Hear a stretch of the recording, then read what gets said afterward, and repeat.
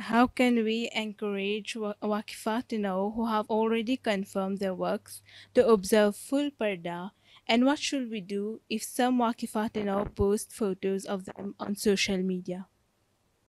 You see, you make them realize that their duties, since they are Waqfat they have to obey the commandments of Allah.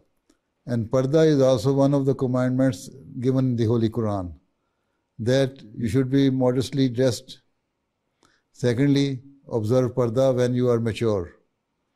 So, being Waqfino, Waqfatino, they should, instead of following the worldly things, they should like more or even practice more the commandments of Allah or the things which their religion teaches them.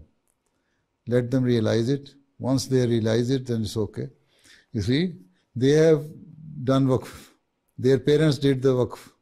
And after that, they renewed their bond to be Waqf-e-Nau. Once they themselves have filled the bond that they will remain in Waqf-e-Nau scheme, then they have to follow those things or rules and regulations and abide by them which have been given to them and which are required from them by Allah Ta'ala, which are clear commandments. And parda and modest dress is also one of them. Okay?